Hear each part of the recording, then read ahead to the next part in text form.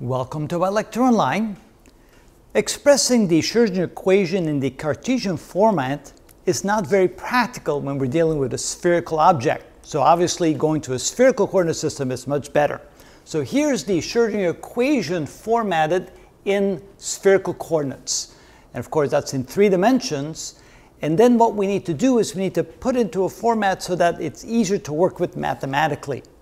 And if we realize that once we convert from xyz to r, theta, and rho, or r, rho, and theta, then we can realize that there's a possibility of writing the Schrödinger equation as the product of three separate equations. One that only is a function of r, one that's only a function of phi, and one that's only a function of theta.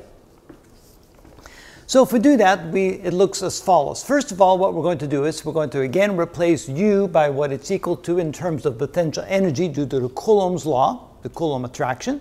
And then we're going to multiply the left and right side equation by r squared sine square of theta. When we do that, here we end up with sine square theta in the numerator. Here we end up with just a sine of theta in the numerator. And here cancels out this entirely, so the whole equation looks a whole lot simpler. Of course, this term here will have an additional r squared sine square of theta, but at least the portions where we have to take the partial derivative look a whole lot simpler now. The next thing we're going to do is to take the Schrödinger equation instead of writing it as a single equation in terms of r, theta, and phi, we're going to write it as the product of three separate equations. The first one that's only a function of r, the second one that's only a function of theta, and the third one that's only a function of phi.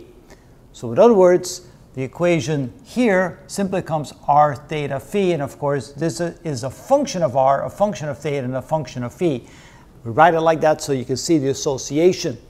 So then we're going to replace, the next thing we're going to do, oh, we're not ready yet. The next thing we're going to do is write the partial derivative with respect to r, the partial derivative with respect to theta, and the partial derivative with respect to phi in terms of the real derivative, the dr dr, the d, d theta d theta, and the d phi d phi. These are, of course, the functions, and these are the variables. The reason why we can do that is because we assume that when the when, the, when we're dealing with the electron going around the nucleus, we can actually write it in terms of the product of those three equations. We'll show later that that's indeed true. So if we do that, notice that the wave function will now become the product of the three functions, and if we take the partial derivative of that, we only have to take the, part, the derivative of the variable that's associated with. So here becomes the derivative with respect to r, the derivative with respect to theta, and the derivative with respect to phi. Then if we take each one of those and divide it by the wave function, the product of r, theta, phi, or at least the functions, then you can see that these will cancel out and we end up with 1 over r times dr d, uh, d dr. We end up with 1 over theta d d theta and 1 over phi. And of course, here we have the double derivative. Where are we here? Uh, yeah, here we have the double derivative. So it's the double derivative or the second derivative of phi with respect to, uh, with uh, something is not right here. This should be phi. Haha. Error mine. Okay, so this should be the second derivative, of course, because that's what we have over here.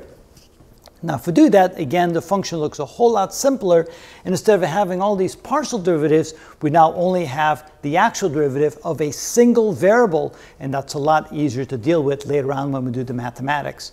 So now we have what we call here the Schrödinger equation in spherical coordinates simplified to a format that's a lot easier to deal with and that will allow us to find the individual functions r, theta, and phi instead of a function like, uh, like here, the Schrödinger equation that is a function of all three variables all at once, which is a whole lot more difficult to deal with. So now this equation right here is the equation we're going to be working with in spherical coordinates and this will allow us to come up with the solutions to, these differential, to this differential equation a whole lot easier. So stay tuned and we'll show you how to do that.